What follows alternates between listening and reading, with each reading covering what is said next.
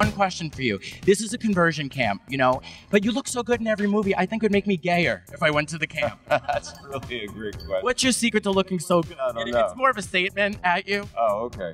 Uh, I don't know. I'd love to say that it was clean living, but that would be an outright lie. You're looking very dapper. Thank you very much. Did you dress yourself? I did. I dressed myself. I, I had a little bit of help. People gave me some input. Um, but yeah, I did it did it all by damn self. I don't believe that, Boone, but that's fine. You look fantastic. What was important to you about telling the story?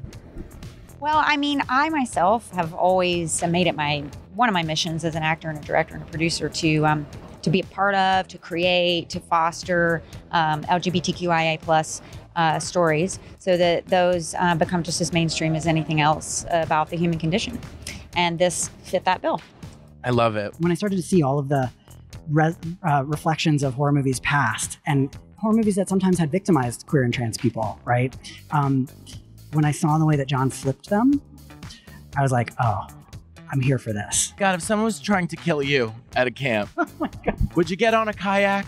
What would be your motive? Listen, I would just be like, I wouldn't, I would not get into that camp, uh, but I, I, you know, You're like, I'd read the Yelp reviews before, Yeah. before I get there. No, I know in a very serious way. I mean, I, I, LGBT youth generally don't have the, the choice, right? But um, in a fictional camp where people, where someone was just trying to kill me, yeah, I'd just be gone so fast. I don't. I would just evaporate. I think would actually is what would happen. Kim is a young woman from a conservative family. Um, she's one of the few campers who's come to Whistler Camp because she really believes that conversion therapy can work for her. Something that a lot of these camps do. They prey on people who are feeling hopeless, who are feeling lost, who want any option.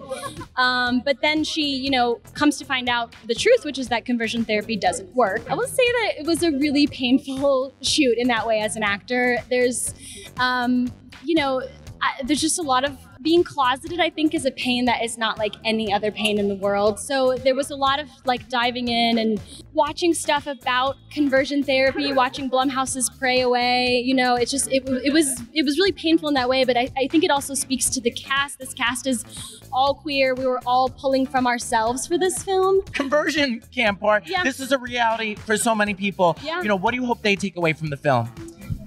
Mean, it's. I, I think I would have different takeaways for LGBT kids and for the parents of these kids, right? I would hope that for the kids, they're seeing that we are here today, we're queer, we're out, we're successful, we're happy, um, and that that's a future they can have as well. And then I think for anyone who's considering conversion therapy for a loved one or for themselves, I think that they need to understand that it's much more dangerous to try to change someone than it is to let them be who they are. And I heard that you really relate to that character about Stu, that you also had those feelings growing up, you tried to repress it. Yes, I did. I, I really didn't want to be gay when I was in high school, and uh, um, it, it took me to going to acting school and to really figure out how to be in other people to um, be myself ultimately. Um, and so it was kind of cathartic and, and a little triggering at times to go back to that space, but um, ultimately beautiful and healing. And I'm feel so lucky and special to be a part of this. I relate to. I don't want to be gay either. I was like, that's a lot of choreography. That's a lot of dance moves. that I don't know if I have the time to learn.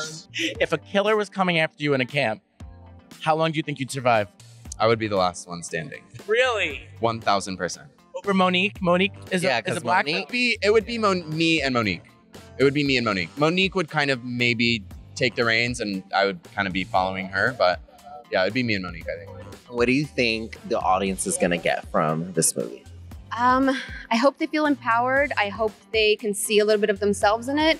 Uh, I hope they get some scares, but I mainly feel hope that they come away with it with um, with more love in their heart and uh, understanding. I was a really weird kid, and I was bullied, so a lot to pull on, a lot of childhood trauma to pull on, a lot of mean, you know. And especially, I think being queer as well. You know, there's a lot of terrible people that do are awful to you, and I think Mike Pence. all of them. I think I filled the chair ably and it was fun. And you have three Oscar nominations. You have a Tony Award. Does it ever get easier? Does the pressure ever come off for?